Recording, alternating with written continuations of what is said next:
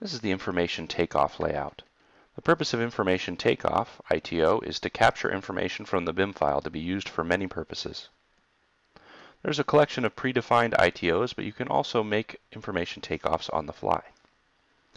Here we have the model tree, the classification view, where we can define classes of model elements, the selection basket, the info view, the 3D view, and the information takeoff view where the actual takeoffs are done. Let's take a look at an example of ITO. First, we need to make sure that we have the classifications we need for our purposes. Let's add one classification. Depending on your role, you may choose the classifications you need. Let's select the building elements classification for this example.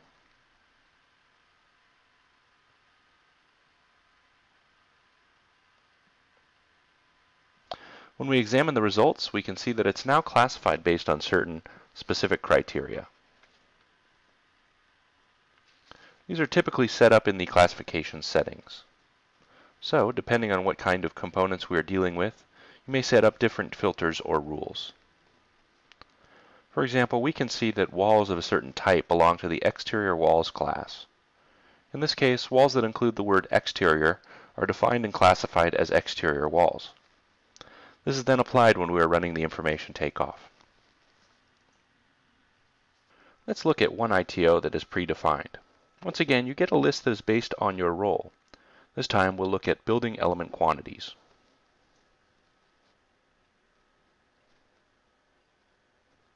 When selecting an ITO, the to-do list may appear, indicating that specific tasks should be completed before proceeding.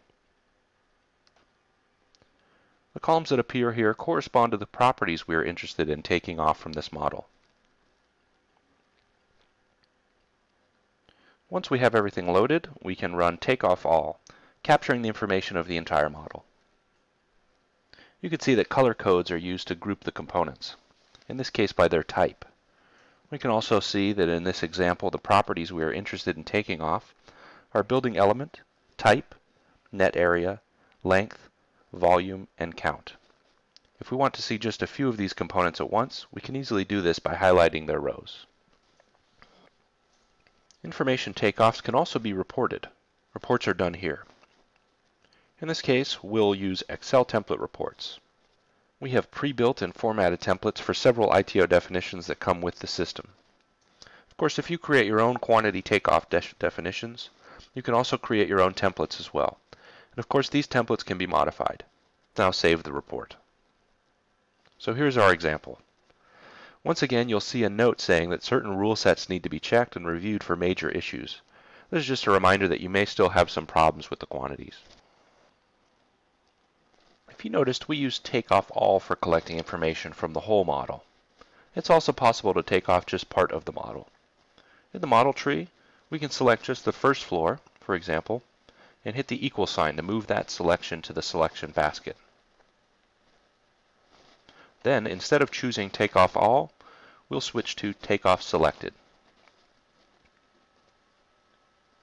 You can also modify this ITO definition by adding a new column.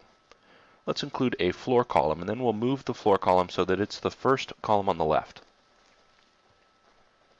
Now, if we take off all, we can see components divided by floors. Here, for example, we can highlight the components that are found on just the ground floor.